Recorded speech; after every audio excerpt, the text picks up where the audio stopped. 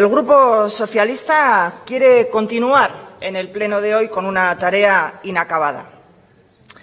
La tarea de reparar a quienes hayan sido desasistidos por los poderes públicos cuando se han vulnerado sus derechos, la tarea de fortalecer el Estado de Derecho, que tras conseguir vencer al terrorismo sin tener que ceder nada a cambio, es capaz de reparar los fallos que haya podido incurrir.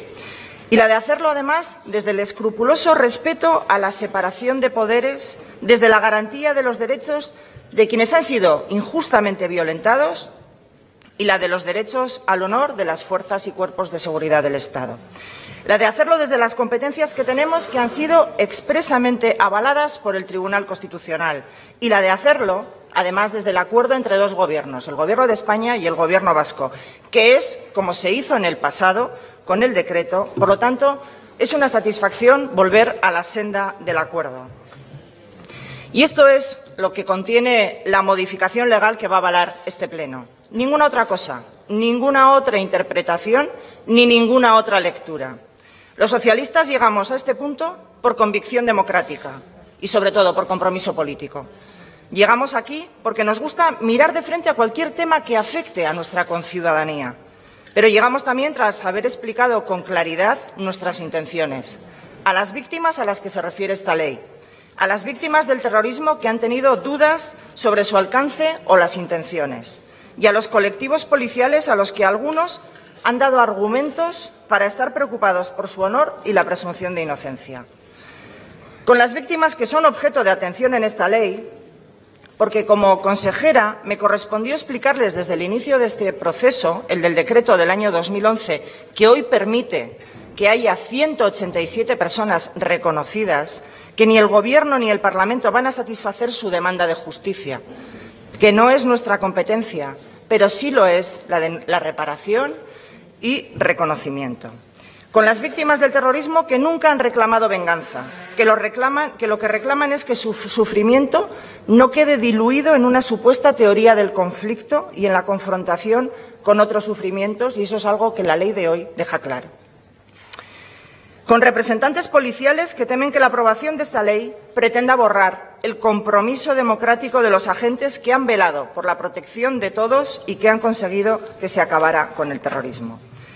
Y en todos estos colectivos detectamos recelos y dudas. Entendemos todas, pero nuestra labor como partido es que esas dudas, esas inquietudes las dejemos zanjadas a través de una ley clara, como es esta de hoy, que refuerza su seguridad jurídica.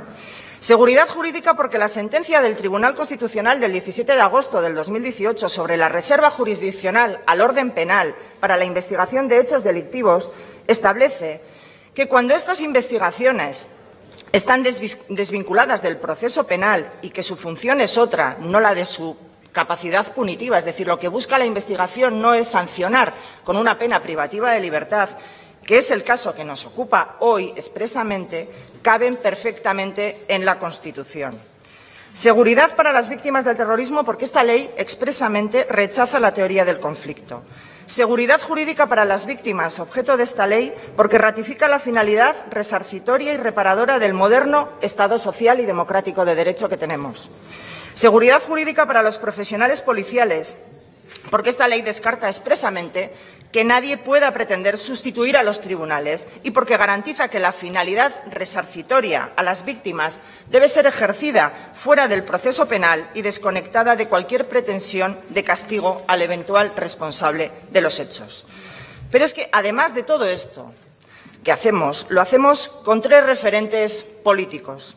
El acuerdo unánime de este Parlamento en el año 2011 que instaba a los poderes públicos a establecer las medidas normativas precisas para el reconocimiento y reparación de estas víctimas.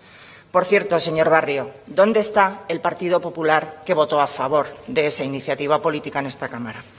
El decreto del año 2012, que reconoció a quienes vieron vulnerados sus derechos antes de la aprobación de la Constitución, sin que tampoco ningún grupo presentara objeción alguna y sin que ningún tribunal haya cuestionado esa actuación. ¿Dónde está el Partido Popular con quien yo acordé ese decreto? El acuerdo entre los gobiernos de Euskadi y España en relación a aquel decreto y en relación a cómo encauzar esta ley. ¿Dónde estaba el Partido Popular cuando tanta falta hacían los acuerdos entre su gobierno y el gobierno de Euskadi para avanzar en la convivencia tras alcanzar el final de ETA.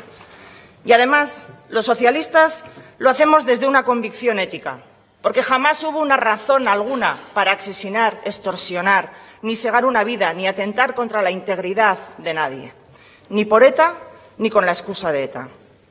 Y con la misma firmeza decimos que el hecho de que algunos sigan negándose a reconocer la injusticia de ETA no es excusa para que quienes padecimos a la banda terrorista reconozcamos la injusticia de cualquier vulneración de derechos por abuso o por inhibición de los poderes públicos.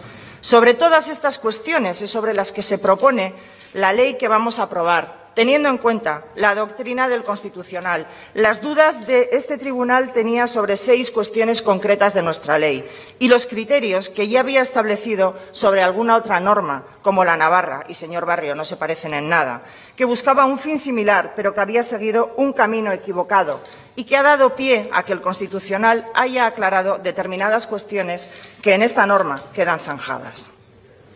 Porque la ley anulada en Navarra no nos sirve como ejemplo, por mucho que se empeñen algunos, no nos sirve que ponga como ejemplo lo que ya no está, además, vigente. Si quiere, entre a debatir con otros por qué hicieron una norma que han asumido ahora que no satisface a las víctimas, que no ha sido útil y por qué al final han asumido el camino que emprendimos aquí en Euskadi. Pero no puede ser argumento para oponerse a esta ley simplemente porque no son iguales y también por otra cosa fundamental que ya le he apuntado. Porque a diferencia de lo que ocurrió en Navarra, en el caso de nuestra ley, de todo lo que fue recurrido en su momento, tan solo hubo seis cuestiones puntuales sobre las que se mantenían dudas, y son las seis que hoy dejamos claras con las modificaciones. Lo que estamos debatiendo hoy no es ni la motivación ni el objeto de la ley, como parece pretender el PP de ahora, sino unas cosas concretas que despejan las dudas planteadas. Eso es lo que estamos haciendo ofrecer un camino seguro y, hacer valer el Estado de Derecho, la Constitución que impide tratos degradantes hacia las personas, el Estatuto que nos ofrece instrumentos para resarcir a quienes hayan visto desprotegidos, Estado de Derecho, Constitución y Estatuto que otros empeñaron en denigrar y abatir y que se abren paso una vez más. ¿Cuáles de esas cuestiones no gustan al Partido Popular? No le gusta la comisión de valoración ni sus funciones, porque en esto el Constitucional ya nos ha hablado con claridad, ya nos ha dicho que la investigación penal de hechos delictivos está sujeta a reserva jurisdiccional, pero que es posible la constitución de una comisión de investigación que tenga como única finalidad el resarcimiento de la condición de la víctima a efectos resarcitorios. Hay muchos casos en, en los que esto ha ocurrido ya en muchos ámbitos, por ejemplo, los civiles.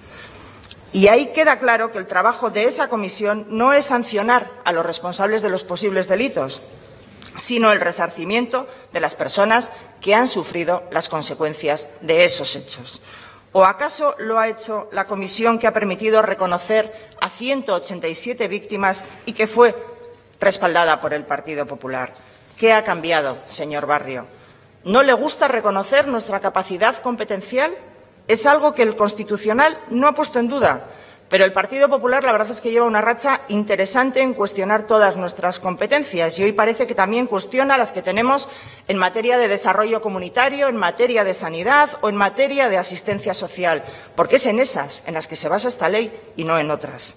¿Por qué siembra sospechas sobre la posibilidad de un recurso? Quienes se sientan afectados por cualquier resolución van a poder recurrirla, como cualquier otra decisión administrativa. Así que dejemos ya las sospechas y los intereses ocultos, que no los hay. Dejemos de utilizar a quienes han sufrido como instrumento de acción política. Si somos defensores de los derechos humanos, que no haya medias tintas. Si nuestra apuesta por el sistema democrático y el orden constitucional es firme, no demos pie a quienes cuestionen su fortaleza, y con la misma contundencia que rechazamos que se hayan producido violaciones sistemáticas de los derechos humanos por parte de los poderes públicos, los socialistas rechazamos que se marquen distancias con las vulneraciones que hayan podido cometerse. Y con esa convicción pedimos el respaldo de la Cámara a las modificaciones legales que hemos propuesto, que buscan fortalecer nuestro Estado de Derecho, que buscan acomodo en la doctrina constitucional y en nuestras competencias. Es lo que votamos hoy y a eso debiéramos de ceñirnos en el debate. Muchas gracias.